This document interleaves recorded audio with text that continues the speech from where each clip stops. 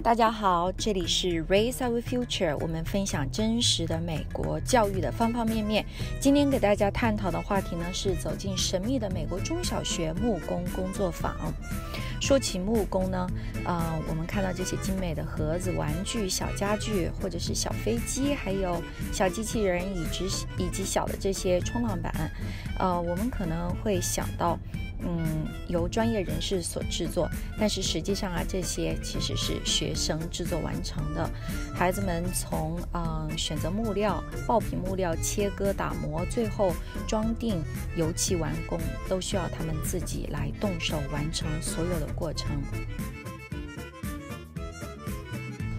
我所工作的学校，美国塔山学校呢，也开有这样的木工课程。从三年级以上的孩子呢，都需要上木工课。我们来听一下我们学校木工老师他的想法。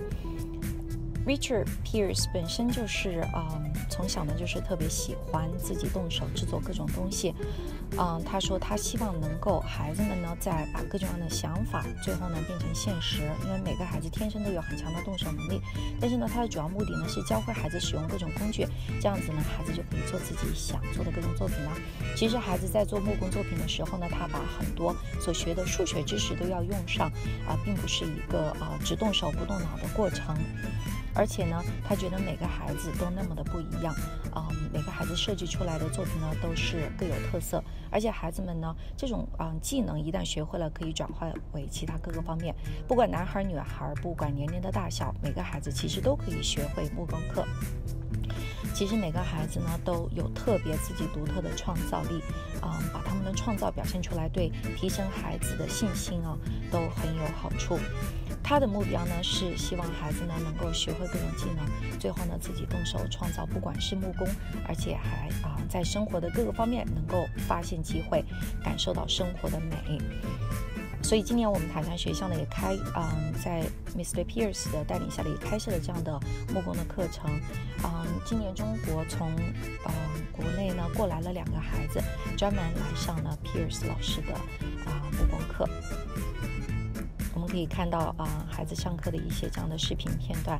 嗯，第一次使用这种木工工具对他们来说，刚开始是很陌生，但是呢，两个孩子适应的非常的好。很快呢就学会了使用各种各样的工具，画图、做图、切割，啊，进行的得心应手。孩子的作品呢，也啊，除了按老师的啊要求做一个这样的木工工具盒以外呢，他们也自己啊。做了小坦克，做了小玩具，也孩子们的日记也是特别的有意思。你猜猜我今天干了什么？今天的木工课是自由创作。我首先准备好材料，准备做一个箱子。做着做着，我发现有一个钉子钉错了，我就对老师说：“Excuse me。”老师可真厉害呀，直接就用手给搬开了。然后另外一个孩子也写到：“我喜欢做木工，它不仅让我们养成了勤于动手的好习惯，也可以锻炼我们、激发我们的思维，还让我们懂得了更多的安全知识。比如说，老师摆在桌子上的东西不可以随便乱动，是有危险的物品不可以随便靠近。我觉得我非常开心。” Well, I, I can certainly say that it, it's it's very fun for us to have some international students in, in the shop. You know, we certainly don't get that very often, and, and I'm having fun kind of trying to break down the language barrier just with, with gesture and emotion, and, and uh, you know, trying to get them to understand, even if we can't communicate fully with the language that we use. Um, it is quite fun for Steve and I to kind of, like I said, to try and break down that barrier in a way that that for the children that are working. 其实就像啊龙应台说过的一句话，上一百堂美学的课，不如让孩子在大自然里走一天；讲一百个终点的建筑设计，不如让孩子去触摸几个古老的城市；讲一百次文学写作的技巧，不如让孩子在市场里面弄脏自己的裤脚。